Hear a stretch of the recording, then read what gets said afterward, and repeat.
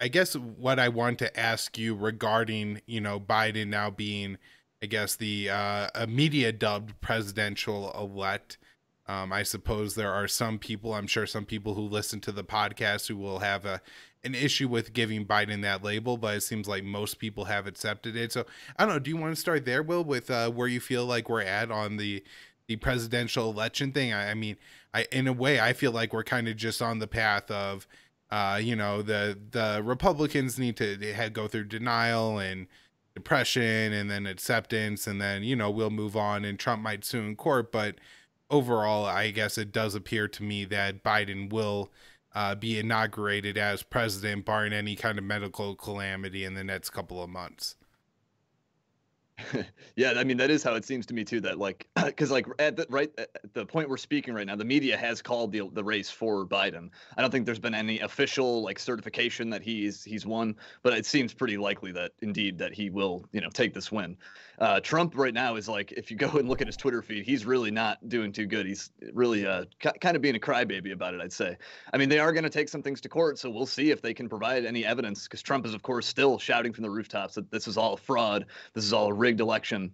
And like, you know, I don't reject that claim right on its face. I would like to see some evidence for that. But to date, I've still not seen any real definitive proof for like, you know, s- serious irregularities that would explain Biden winning. It seems like he he may have won.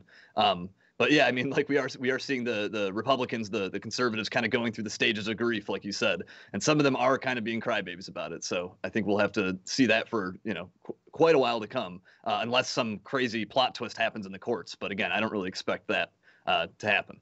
You know, one thing I've noticed a lot is, uh, especially when you look at the mainstream media and like you know the blue checks on Twitter, they're portraying this election like something that's never happened before.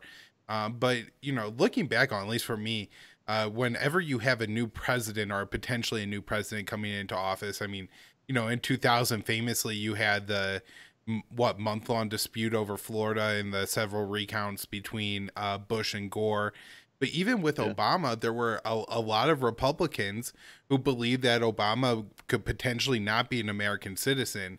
And while everybody kind of chalked that up to racism, I think it was just like their way of like denying the potential that Obama could be president and like needing a couple weeds to like accept it and sink in and like you know you know what I mean like it, it's like a, a, football fan whose team is down by 20 points at the 2 minute warning is like well if we just get a turnover and a touchdown and an onside kick and another touchdown and uh, you know, a fumble and then a touchdown, we'll win this game by three points or something.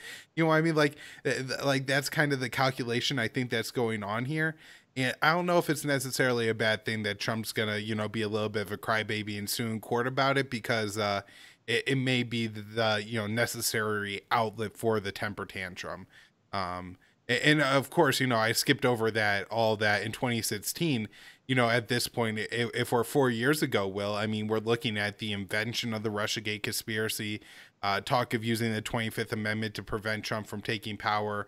Uh, the Hillary campaign was looking to brief the Electoral College on, uh, you know, down uh, the Russian interference in the election to try to get them That's to right. throw the, you know, election to Joe Biden or Colin Powell. I mean, you know, this is, I, I feel like, just how much emotion that the the mainstream media has us riding on these elections. Uh, and, and, you know there is a lot of power to to change hands here, and uh, for people who care about like very specific issues. It could make a, a difference for them. But uh, yeah, uh,